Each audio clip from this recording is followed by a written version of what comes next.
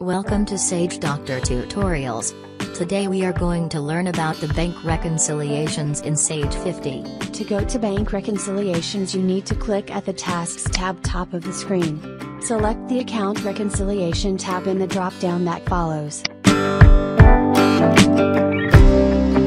Type in the reference number you want to reconcile.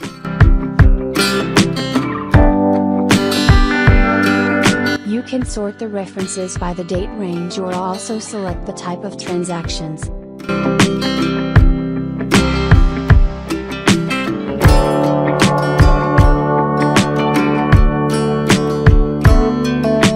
You can select the transactions you want to clear transactions.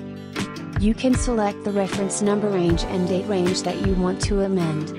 You can also sort and select the bank feeds to connect with the bank. For that you have to enter the username email.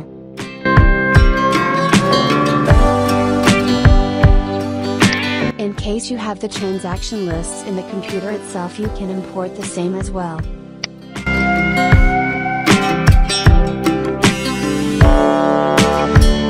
You can manually select the reports as well by simply clicking reports and importing the same.